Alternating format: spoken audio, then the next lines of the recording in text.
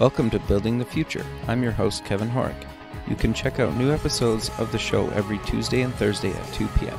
If you missed an episode or want to get more information about the show, please visit buildingthefutureshow.com.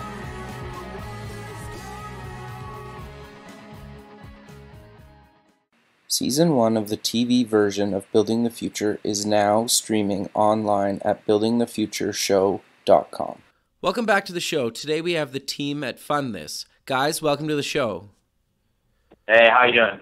Yeah, guys, I'm excited to have you guys on the show. I, I know we kind of ran into each other at uh, the Startup Expo um, months back, and I thought what you guys are doing is is kind of is pretty interesting and, and kind of a different take on um, the you know the the fun self fun kind of your project. But maybe before we kind of get into fund this, let's get to know each one of you a little bit better, and uh, maybe just tell us a bit about who you are and your background.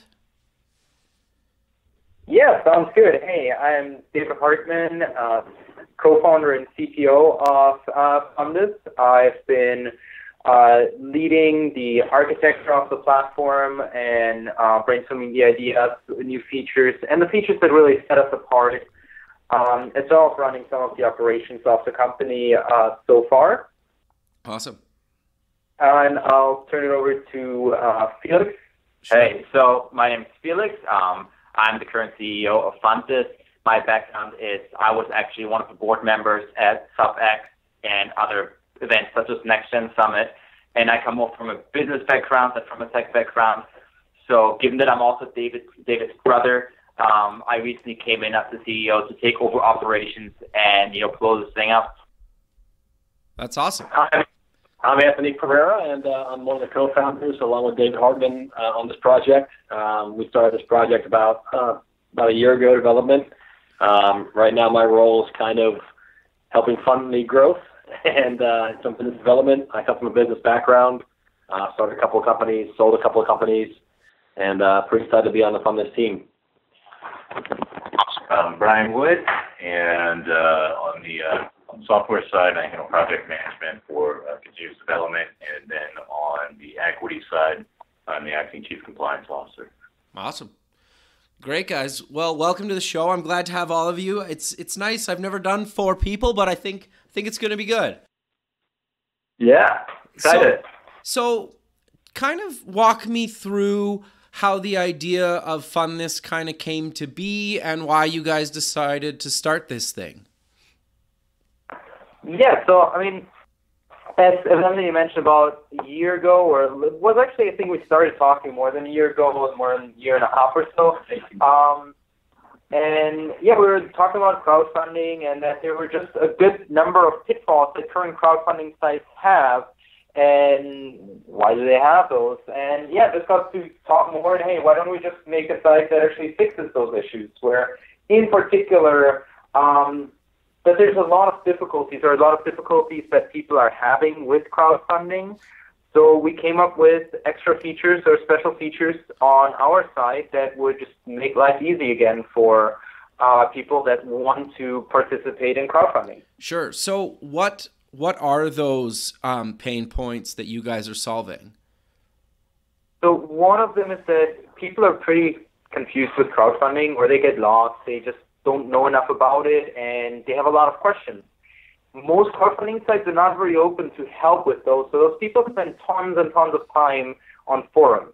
So one of the things is that we integrated a chat and we actually made, uh, came up with something called product, uh, project coaches okay. that will help someone who wants to set up a project. They are on our staff and on our team, and they will help them to put together a campaign, be it from what's a good marketing angle, what would be good perks or rewards, what's a good goal, duration, all those questions that people could have, they will actually help them along so that people can, instead of struggling, they can just put together their campaign and focus on marketing it. Okay, so they reach out to you guys, you put them with a member on your team to kind of help them with this stuff. How long before the campaign goes kind of live or does it really depend on how like how big the campaign's going to be? So usually say it, you know it really depends on the individual. Okay. It can be can be it can be three days, it can be a month. It really depends how ready they are because it's also a question of you know are they selling you know are they trying to launch a new product with it and is the product ready? Um, so since you know since I've been taking over, me and my team when we get new clients or when we go search out for new clients because we also oftentimes look for great ideas that didn't succeed on let's say Kickstarter, Indiegogo and we kind of give them the back and we give them the support and you know really look at that branding and the marketing to reach bigger crowds to make sure that they do reach their goal. Oh, interesting. Okay, so is there a fee for that or is that free? No, free. Okay, Yeah. awesome. So Yeah, at least okay, go ahead. Sorry. picture- Right. Something we might add in the future is, you know, as we're growing the, the platform right now, it's just run by the team. But something I'm working on is that in the future we can get mm-hmm. some, um, you know, crowdfunding experts to kind of join the platform as consultants. And, you know, when you create the project, you almost get like a menu of, you know, experts that can become your personal project coach. And, you know, you can always get somebody from the team for free, or you can, you know, get somebody that maybe has launched million dollar crowdfunds and they get either a flat or percentage fee. Okay, so what kind of stuff do you guys traditionally help people with? Like, I, I get marketing and kind of branding, but like, what exactly does that mean? That means everything. I mean, the, the idea in setting up the crowdfunding platform is one thing, but there's so many, you know, crowdfunding uh, projects that have great ideas and great videos and everything. But if it doesn't reach the public, you know, that means you know social media marketing, email marketing, uh, maybe some crown stuff as well. So that's something we'll help with. But even further than just you know uh, marketing, it's also making the, the site happen in the first place. Meaning we have something that we call Easy Perk that makes the whole process of creating a project so much easier because instead of having to you know um, on your own you know create I don't know stickers, thank you cards, T-shirts, and anything else you can come up with, we automate that whole process so that you just upload a design and you put it on a certain item or piece of apparel, and we automatically print and ship no matter how many get ordered. Okay, interesting. So, how So does that? Go ahead. Sorry. That's actually one of the other major features that we've integrated, um, which Felix just mentioned, is the Easy Perk, where creation and fulfillment of certain of those uh, perks of a growing selection of uh, perks that we've integrated with um, are just, as you said, automatically generated and fulfilled for the campaign. There, that's the second big pain point that we wanted to address because a lot of these campaigns, they, let's say, run a campaign, uh, sell some of their prototypes and also some of the swag. Um, and at the end of the campaign, they've raised, they met their goal, raised the money, but now they have 200 T-shirts to send out. Now, instead of focusing on, okay, this is what I did, here I have my money, now I can start my business or push my business forward, now they get stuck packaging and shipping out 200 T-shirts, which is, I've, in my family, packaged a lot of things before. It's a quite tedious and laborsome uh, effort and act. So that we wanted to tackle with EasyPerk, where we integrate with various manufacturers to take all the information in, take that all the project creators need to do is they can upload an image and select what sizes and colors and types of shirts or hoodies. Um, currently, we focus on apparel. Um, they want to make available, and then on the user side too, people that want to contribute, they can select, oh, I want the shirt in medium and blue with this logo on there I got as you. you know, reward or thank you for their donation or contribution. Yeah. Because nine times out of ten, pro- these project creators aren't T-shirt or apparel manufacturers. Sure. They're going to going to source a T-shirt or apparel manufacturers and putting the shirt, then putting the shirt in a package, making sure it gets there and delivered properly at the right size and the right color at the right time. It, it's kind of overwhelming for some of these project creators. So, so this Easy Perk concept kind of takes all that and and, and simplifies the whole process. Right. And not just that, also from a financial perspective, from the get-go, you know, Easy Perk tells you if you sell a T-shirt at this price, this is the amount of profit you'll be reaping.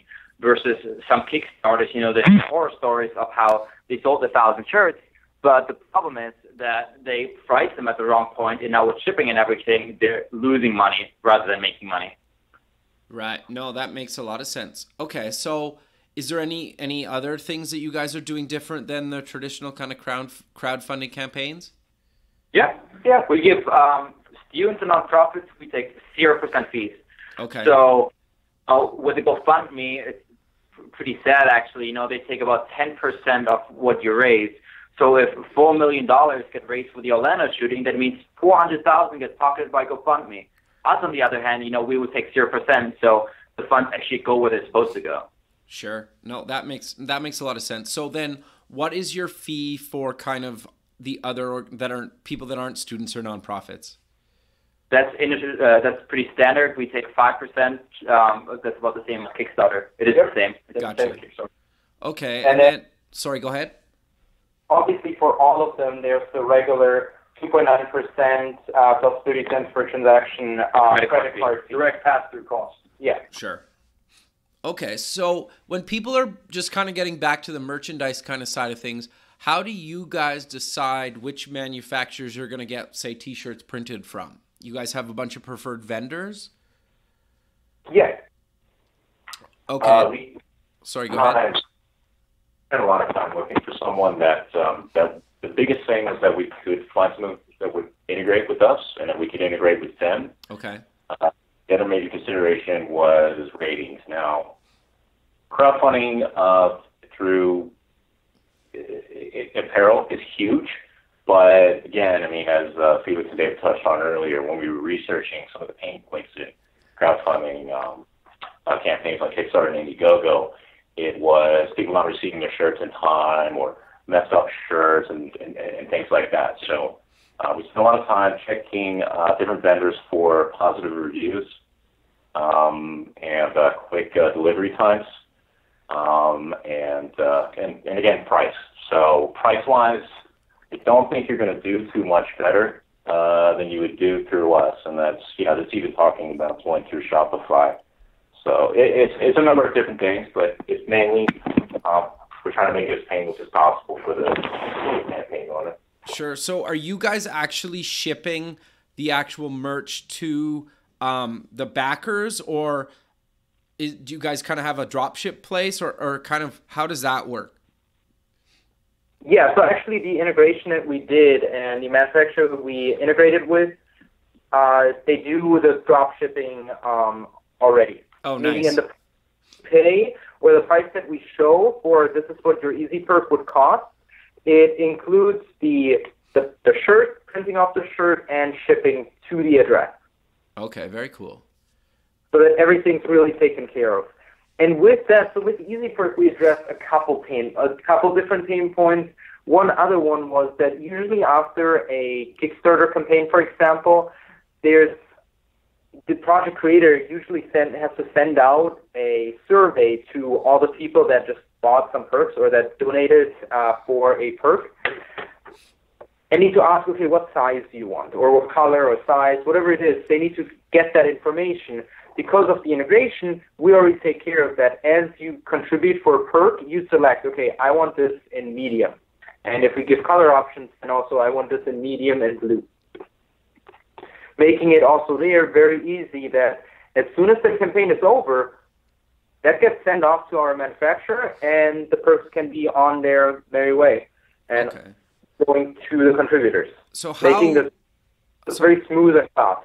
So how long does it take from when you send to the manufacturer to the the actual backer to start getting their merchandise? I get depending on where in the world they are, but is it weeks? Is it a month?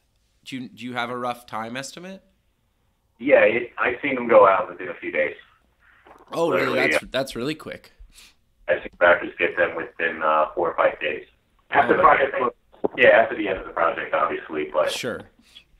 yeah, I mean, from the the process from the design reaching the facility to that item being printed on demand and then going into a box is is very very quick. Sure. No, that makes a lot of sense. So I'm curious then. So I, as a user, I come to your site. Obviously, I sign up for free. I can decide. I I reach out to you guys. You guys set me up with this campaign, and um, you guys, you know, you market it and promote it and whatnot. What happens to you guys once? the the campaign gets funded, are you guys still kind of involved? Are you kind of are you kind of done at that point, or or is is there any kind of future? Do you work with these companies kind of beyond getting funded? Yeah. So uh, first off, um, just to, to make clear for the listeners, you know, like um, it is a bit more independent process. You know, you can open up the project yourself, you can set it up and everything, but we're there every step to know, you know, like guys can help you out. So Sure. It's not that have to make the project, you can make it yourself. Um, and you know, for example, now with the new clients we got on, um, you know, I, you know, I'll sit down with them, uh, uh, or take, take them, take them on the phone, and you know, walk them through the process, like the marketing aspect. Um, so you know, like the project owner still has to make sure that you know they're pushing it to their um, circles.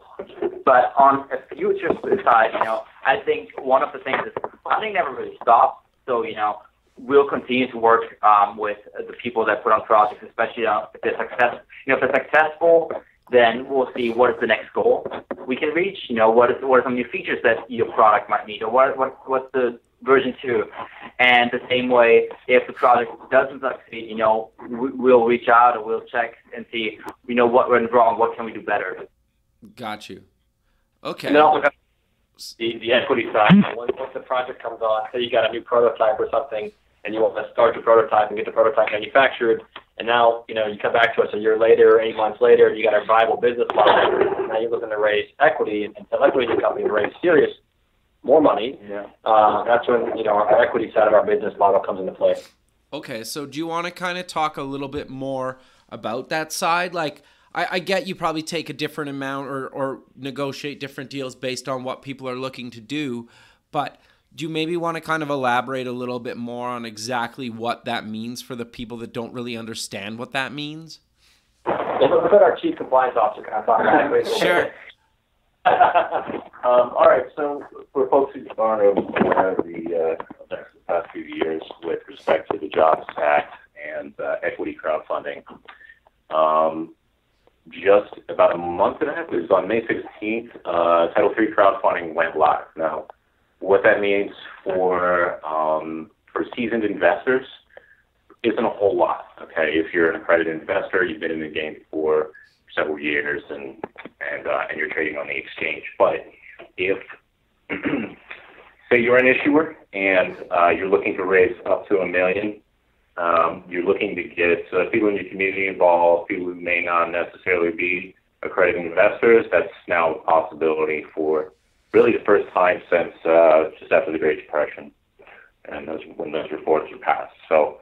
Um, let's say you have a small business, uh, you want to, it's a startup, you want to raise funds to continue on with Anthony's example. Uh, you, you have a successful prototype, you want to go into mass manufacture, you need, say, a million or something like that um, to, uh, to do some marketing and production and so forth. Uh, you can issue uh, debt or equity, and those securities, um, well, a couple things. One, they cannot be publicly listed, uh, but generally these are pre-revenue companies anyway, so that's not an issue.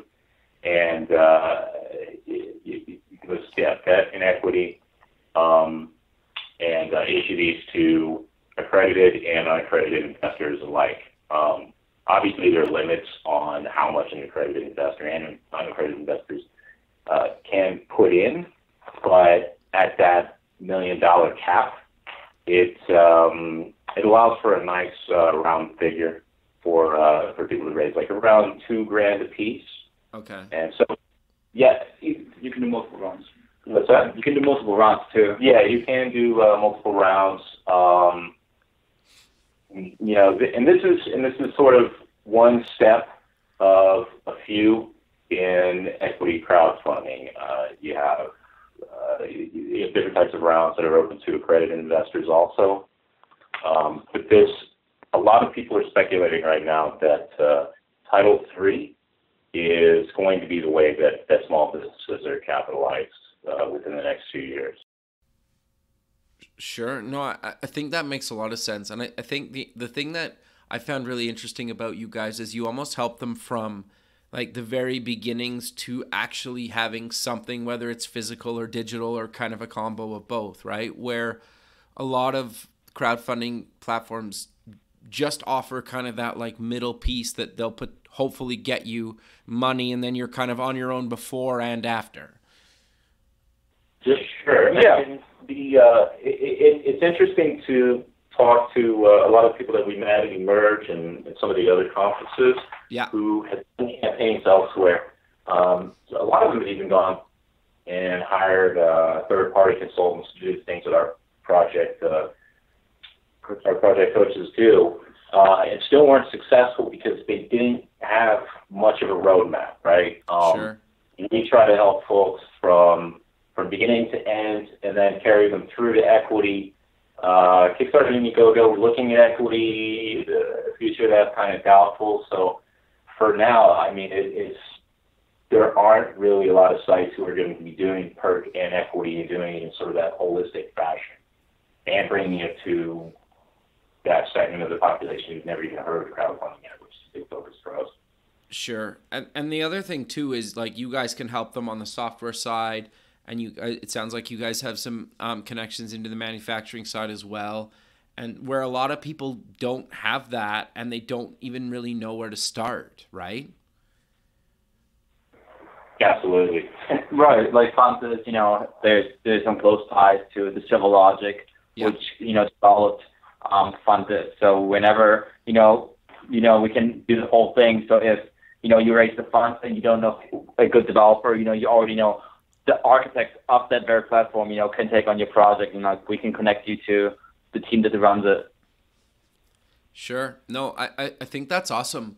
So, what kind of typically what types of projects have kind of gone through the platform and is there kind of certain areas that you guys seem to get more projects in or is it a little bit kind of all over the map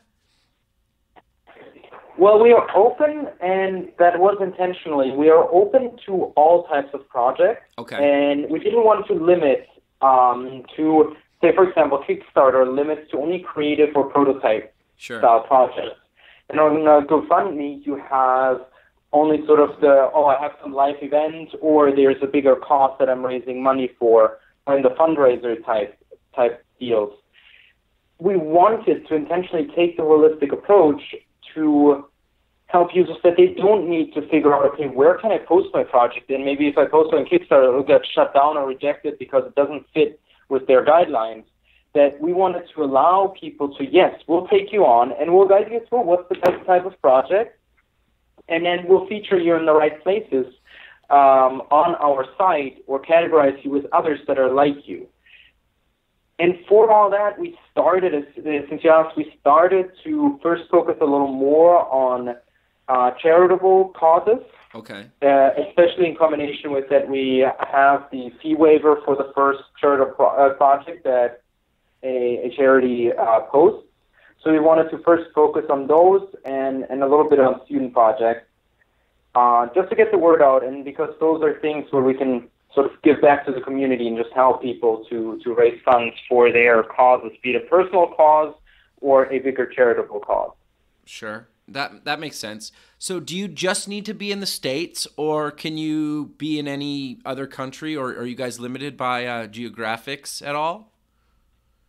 Uh, yeah, no, we allow um, you to sign up from anywhere, not okay. just the States, but anywhere in the world. And we also, the Easy Perk feature that we mentioned earlier, we also ship internationally. Sure, the shipping fee is a bit higher sure. if you ship internationally, because right now we only ship from here, from the States.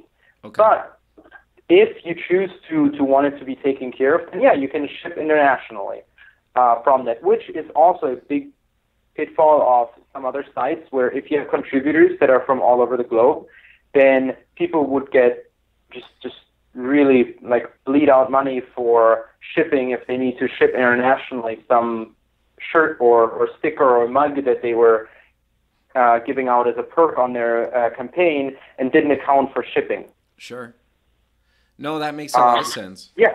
So it's, it's open internationally. Another big, uh, another uh, feature that sets us apart that we're working on is actually Bitcoin. That you can make projects that are that want to raise Bitcoin as well as collect Bitcoin. Meaning, it's a full cycle Bitcoin project. Where instead of use uh, dollars, you raise Bitcoin and people can tr- contribute Bitcoin. Interesting. And as far as I like last time I checked, nobody else is doing that in the space, correct?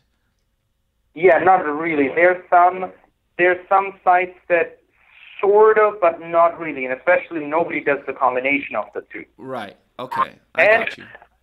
I completely understand why. It's, it's a bit of a struggle. Bitcoin is a world for its own, uh, and but it does open up the the crowdfunding space to developing countries where currency is just not stable enough for this to make sense. Or especially in developing countries, they are a big fan of Bitcoin because it's just an alternative. You can move it. You can. It's it's a lot less controlled by the government. Um, so we have, for example, we have uh, a contact in Venezuela who was a big fan and was really waiting for us to release the feature. Sure. And yeah, it's it's for those uh, places and just for some tech fans, it's it's going to be a cool feature. So you, you said you're running into some troubles with in, integrating Bitcoin. I'm I'm curious, like what what is the main kind of hurdle with integrating Bitcoin? Uh, the main hurdle is to find a wallet that would actually be good with crowdfunding. Got So we, uh, so I do a shout out to our two partners. Sure. we, so we initially um, integrated, tried to integrate with uh, Coinbase, which is pretty much one of the biggest players in the space. But then earlier this year, there was um, a bit of craziness going on with Bitcoin when the long-term, like it was pretty stable for quite a while, and then Yeah. spiked up 245 to like 470, 80, or it, Now it's trading at 780. Yeah, it was Yeah. more than that when all during all this time. yeah, so there was there was some craziness going on, and they sort of were really busy with that. So we switched to BitPay, uh, and they sort of was like, oh, cool, yeah, I like the idea, I like the idea. We finished the integration with them, and then as we were launching and getting our production account approved, some higher ups in the company were like, you know, crowdfunding seems like not something we want to touch. Oh, But then sort of Coinbase, who was then like recovered from all the spikes and craziness, and they were also big fans. We talked to them, talked to various people there, uh, but it's right now still under, and it has been for about four months, I think now, under Under review. Under review by their management team. So we hope to sooner or later hear back from them. They were like we're the integration is set, development's actually done. The only part we're waiting for is for approval on a production account that we can actually go live with. But gotcha. yeah, their management is reviewing for the last four months. Interesting. And you you guys also have Android and iOS apps. Do you want to maybe kind of cover the features that um, you guys support on uh, on mobile? Uh, yeah, sure. So on mobile, the um, the focus of the initial version of the mobile apps uh, is more focused on, uh, let's say, a viewer type app. Sure. Meaning, so you browse. Uh, we have a nice little swipe feature where you get, um, like in a discover type uh, view, you'll get some projects that is proposed that could be interesting for you, and you can swipe through them Like Tinder. like Tinder Got you. uh, to, to get projects like favorite them or like them, and then you can review them again later, be it on the mobile app or from the site. So we focus there on that the mobile apps focus more on the browsing of the project. Sure, not that so makes much sense. yeah, because that's something we figured. Hey, the app is something if you're somewhere like sit in an airport, wait somewhere, uh, or are on the run, you have, you have some time on your hands. You just want to flip through some projects. So the focus of the mobile apps was to really facilitate that process. Sure, that makes a lot of sense. So, where- aside go ahead. Sorry. aside from the mobile apps, our site is also fully responsive, meaning that if there's any features that are not covered by the mobile apps, you can also just jump in and go to our uh, site and enjoy on the phone because it's, it's fully responsive, so it looks all good and appropriate on, on any of the mobile devices or tablets. Sure, that makes a lot of sense. So, I'm I'm kind of curious to know where do you think the future of kind of crowdfunding is going? So one big piece where I think, um, aside from the perk space, I mean the perks and, and rewards and fundraiser space is pretty well established already. I mean, people like sites like Kickstarter and GoFundMe have been around for quite some time. where it's evolving a lot right now is the equity space. And I think that's a space that's going to evolve a lot more even. I mean, the new regulation, as, as Brian mentioned earlier, May 16th, just another piece of legislation was made public. And I think that's the space where we're going to see a lot of change. And I mean, if you look at what we've just seen in the last six months or a year in changes and new things that have come out, we're really excited to see what else is going to change, especially with the release of the funding portal, the change that was released on the 16th. I think there's a lot of things that are going to happen and make that process easier. Like right now, the funding portal is like it's up to a million, and there's still. I mean, you, you regulation. With the new funding portal, you can you can buy uh, stock in companies using credit cards. I mean, I, I think what, what's what's happening is you're creating a, a secondary almost IPO market right. for, like for startup IPO, right. for startup companies, and that's where I think the world's going to kind of shift. Uh, the barrier to entry to a startup has gotten a lot lot less now. Um, you know, to raise a million bucks essentially I mean, obviously, there's still some regulations that have to be taken into consideration for that, as far as documentation with the SEC and FINRA and filing your quarterly reports and all that fun stuff, as our compliance officer alluded to. But I think as as the the, the sector of the finance industry evolves, it will catch up to technology. I think technology right now is more advanced than the sector allows it to be. Right. So, and I think also, you know, um, my my background is trading and I think there's, you know, with IPOs, there's such a huge buzz about them, and it's such especially, you know, everyone's been from the start, and there's incredible volume spike in the first IPO days.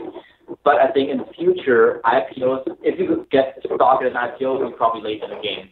You know, so I think there will be a big shift towards um, getting into private companies, and it's also almost like a democratization, liberalization of the whole VC world. You know, it's no longer a few rich guys that are able to invest into these startups. Now uh, you know, average Americans, you know, blue collar workers that, you know, save some money up and can put money into, um, you know, create ventures. And another whole step is that there's a lot of startups that already raised money, but kind of, you know, like under the table, you know, like get some money from mom, get some money from dad, from your uncle, hit up the neighbors. But through those equity crowdfunding sites, it also becomes a lot more transparent, you know, where there's real paperwork behind it, there's real, you know, transparency. So all these deals get, you know, honored. So I think even in that, you know, in the way that money's raised right now, will over the next years greatly transition to uh, the equity crowdfunding space. And to take it a whole step further, I think a lot more companies will wait longer to have their IPO and maybe raise a few more rounds for equity crowdfunding, especially if they do raise the limits in the coming years. Yeah, no, I, I think that that makes a lot of sense. Um, and so I'm, I'm curious to know, is there, without kind of giving away anything that um, you guys are kind of working on, this little secret, like what, what do you guys kind of see the future of kind of Fund This is? Like, are you guys adding, you know, features or, or something else that you think can make you guys really um, stand apart from the competition in, in the near future that you want to talk yeah, about? Yeah, I mean, I, I think right now our features kind of set it apart from our competition uh, a lot. I yeah. think as Fund This and, you know the equity side uh, evolves, I think Fund This is going to be a constantly evolving platform. Um, you know, I, I see us, you know, we're, we're able at this stage in, in game as a company able to pivot and add new features. I think faster and easier than other established companies. I, I would I would say that's probably pretty a fair statement. You know, but uh, Fund This will always be an evolving concept as long as crowdfunding is, keeps evolving. No, that that makes a lot of sense. Um, so, oh, sorry, go ahead. Well, that's. Sorry, I mean, I, I just you know, again, as I think I think Fund This right now, as when we set off to do this do this kind of uh, this, this company was to simplify the crowdfunding process both on the equity and perk side, and and I think we're we're, we're achieving those goals right now. I think our our features make the process a lot easier. The barrier to entry for both perk and equity once equity goes live on our site is a lot simpler. Um, so that's kind of where we see Fund This going. Yeah, and we have an exciting roadmap of other features that we've planned that will, yeah, even more simplify or just add on. That it's not just simplify, but there's more things we want to tackle over time to just give a more wholesome approach to the crowdfunding space, be it on the perk side or on the equity side. In short, equity crowdfunding that would be really cool. There's a lot of really cool features, you know, that people that are interested in, you know, in stocks and trading and all that, they might, you know, be able to uh, relate to that. So we want to make it very engaging. And I think one of the keys is also, you know, to not just raise the money, is that, you know, both with Perk and Equity, we believe, you know, continue those relationships to make sure that our companies continue succeeding. So whatever tools we can give them to succeed beyond raising the money, that's also something we'll provide. Sure. No, I, I think that's awesome. So we're kind of coming to the end of the show. Maybe let's close the show with kind of again mentioning where people can find you guys online and kind of any other social media links you guys want to uh, mention. Sounds good. So um, our website is fundthis.com. And furthermore, we have, you know, on Twitter, fundthis underscore, fund underscore this. Um, I'm launching an Instagram soon with a Facebook page, which is Huh? Let's fund this. Let's fund this. And then if you ever have, you know, a direct question to me, you could just hit me up at at Felix O Hartman on Twitter. Very active, so I answer every DM and every tweet. So um, you know, if you want to continue this conversation, I highly invite you to. Perfect. Well, thanks, guys. I really appreciate you taking the time out of your day to be on the show, and I look forward to following your progress. And uh, you know, thanks again for doing this. You got it. Thank you so much. Thanks, guys. We'll talk soon. Take care. Okay. Have Bye. a great day. You too. Bye.